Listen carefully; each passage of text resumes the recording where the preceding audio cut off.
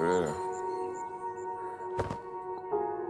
Jag råkar mysa till det lite med Cassie. Liksom. Det, jag Adrian är ett jävla idiotskal. Jag försöker bara hitta lite närhet, men eh, det hjälper liksom inte. Utan jag mår bara tio gånger sämre dagen efter. Och du då? Ja, fast det var... Jag var inte medveten om Va? Adrian, jag steppade upp mitt game idag. Jag steppade upp mitt game idag. Kan jag bara hålla käften med frukosten? Jag orkar inte höra på någon människa faktiskt.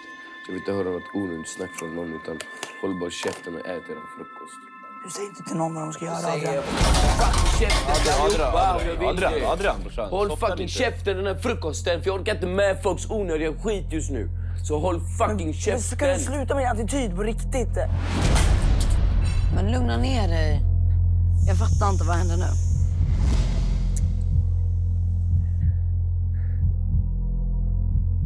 Så här. Adrian gjorde inte det bästa sma- valet igår kväll alltså. Det är lite sorgligt att se. Vadå? Det är ju helt jävla sinnes alltså.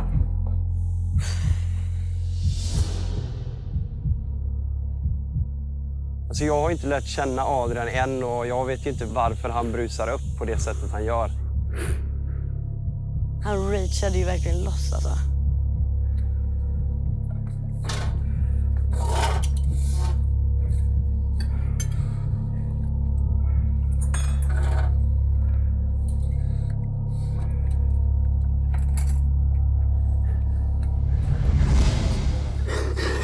Det är lugnt brorsan. Jag eh, tar beslut som inte... som är destruktiva. Så att eh, det är lite tufft. Är det.